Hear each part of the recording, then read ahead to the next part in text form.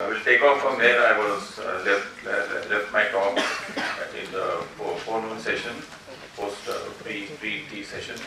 uh, since we have uh, the last uh, uh, uh, point that I made was about the fishing community. Let me start from there since we also have very esteemed members from the coastal community over here in our audience. As I was saying, the fishing community is the key to security as well as to the economy of the country. Uh, many of you may or may not be aware, aware that India exports nearly 35 to 37 billion dollars worth of seafood uh, to the rest of the world. Large portion of this sea uh, food or sea produce is uh, fish caught by our fishermen at sea. I would say that uh, the fishermen or the fishers, as they are sometimes called, are they, they have the same kind of challenges as far as economic challenges are concerned, same kind of uh, uncertainties and difficulties that a normal farmer faces on land. First uncertainty and first difficulty is the weather. The sea, as far as this boat, small little boat is concerned, is so uncertain. The weather at sea is so uncertain. You may be, this moment, sea may be completely flat calm. By afternoon to evening, there will be a strong breeze blowing, 20, 25 knots. A local, not a cyclone or anything like that. But even a strong breeze can upset his seakeeping qualities. He is all the other difficulty that he faces, challenges, is a constant threat of collision by other big boats, other big ships. I have seen this happen innumerable number of times. Big ships which are bigger, five times the size of this building, ten times the size of this building that you are sitting in, coming and colliding with a boat which is not bigger than the size of the stage. So you can imagine what will be the state of that boat and the fishermen, especially at night, the fishermen usually take rest at night. And when they, when they are resting, uh, sometimes, normally they are all together, but sometimes one or two or three or four fishermen will be in a little group away and they will put on one small light and go to sleep. The boat is so small, sometimes is not, does not get picked up by the radar of this big merchant ship which is coming straight at them. And next thing that you know is there is a collision. And the Navy and the Coast Guard have rushed to rescue so many of these fishermen. So many of these fishermen have lost their lives. They've lost all their uh, earnings, of course, gone down with the boat, and they've lost the boat also. But more than that, coming to the security aspect, the Navy and Coast Guard are now expected to catch the ship. Information has been relayed to us after nearly 10 hours, after 12 hours, after 14, nearly after one day sometimes. And then the in the, the scene of action or scene of crime, when we reach, of course, if the boat is there, if the fishermen surviving, we first rescue them.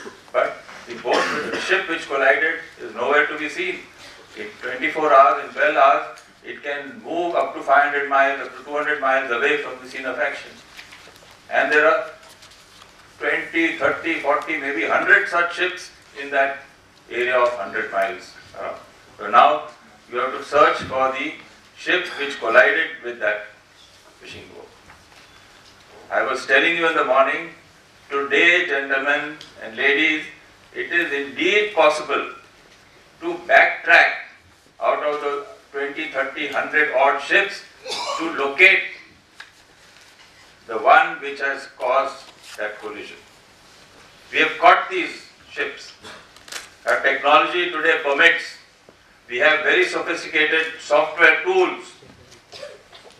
I can quote so many instances, particularly of the Kerala coast is happening. What I'm trying to say is the dangers and perils of the fishermen at sea are not known to many of us on land. In fact, the farmer, I said, I'm comparing the fisherman to the farmer. The farmer has no threat to his life. He has, of course, the vagaries of, of, of the weather, but there is no threat to his life by somebody coming and colliding and killing him. But the fisherman faces threat to his life in addition to the threat from the, from the sea and from the weather. Next uncertainty, talking of economics, is the kind of catch. The fisherman is never assured how much catch he will bring back. Because based on the catch, his wages and payment will be made. Exactly like the farmer. The farmer does not know what kind of output there will be in, the, in this Kharif season or the Rabi season. Anything can happen. So, the lives of the fishermen is far more dangerous, far more uncertain, and far more insecure. And yet, I have felt that with all my experience, that the ecosystem does not recognize this adequately. And that is why I mentioned that these people toiling out in the hot sun at sea, you will see them, they're all sunburnt. They are toiling from morning 5 to evening 7, pulling their nets, moving from one location to another, trying to catch or haul in the fish, while at the same time keeping an eagle eye on all other merchants of or shipping traffic to ensure that that ship does not collide or run over their nets. When we as, uh, as captains of ships or officers on duty on a ship are going at sea, we are all the time looking to see where are these fishing boats. They are so tiny. Not only that, we have to avoid the fishing boats. Yes, we have to avoid their nets also, which are underwater. We cannot see them. And very often, I have myself, my ship has gone at full speed over the net. And we only realize when we are going close to the boat and we see the fisherman frantically saying, stay away, stay away. But it is too late. Your ship has already gone over his net and cut the net. The net is very expensive. He has laid that net for miles together. He has put small buoys to suspend the net, which nobody can see from a distance. Buoy will be only so small. You can see it only when you come to this distance or this distance. So this is the dangers and uncertainties of the fishing community and yet they are such an important cog in the security wheel. I salute them. They are doing a marvelous job. They are providing for the prosperity of the country, catching fish which we are exporting, 35 billion US dollars worth of seafood produce is exported, higher than the, any agricultural produce in the country. And yet, I feel the government and the ecosystem does not recognize the difficulties faced by these people and I will end by saying that the ecosystem needs improvement. We need understanding of their difficulties. We need to uh, have a regular interaction at highest institution level to recognize the efforts put in and they should, they come under the Ministry of Agriculture, Department of Fisheries.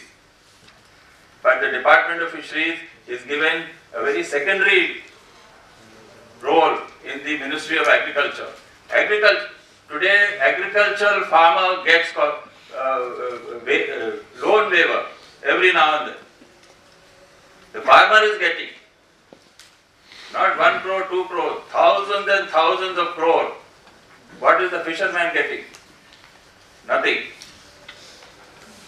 So I will end by saying let us recognize the importance of the fishing community for their role in nation building and for the economy as well as security. Thank you. Thank you, sir.